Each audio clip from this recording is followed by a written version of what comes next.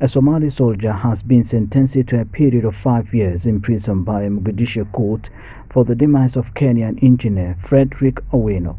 The incident transpired on July 20, 2023 at the construction site of Adan Abdullah International Airport. Investigative findings indicate that Owino lost his life due to a gunshot discharged from the firearm of the Somali soldier. In conjunction with the custodial sentence, the court has mandated the Somali soldier to offer compensation to the bereaved family of the deceased engineer. The precise quantum of compensation remains undisclosed as of this juncture. The court's verdict was rendered shortly after the testimony provided by the late engineer's Kenyan colleagues which was presented before the Armed Forces Court. On July 20, 2023, Frederick Owino was tragically struck and fatally wounded by a gunshot while executing his duties at the construction site. The incident transpired amid a disagreement involving the Somali soldier centered around the drainage of waste water from the construction activities. It is reported that the altercation centered on issues of water leakage